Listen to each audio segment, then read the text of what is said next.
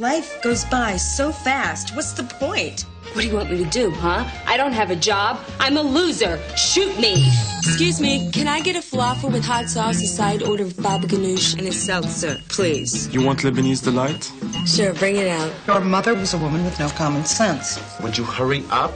Hello, Chanel. Of course, your father was a man without a conscience. You think I couldn't be a library clerk? Fine.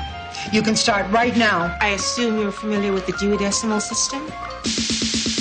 I don't know the first thing about you. Your life, your friends. They're normal people, just like your friends. Hey, hey, hello.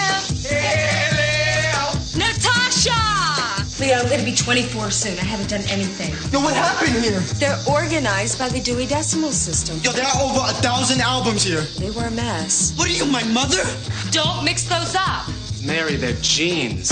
Vogue magazine calls Parker Posey wickedly funny. She's got a personality like a neon exclamation point. You won't believe what I did last night. It was possibly the wildest night of my existence. I'm happy to see you're practicing safe sex. First Look Pictures proudly presents Sometimes you can be kind of goofy.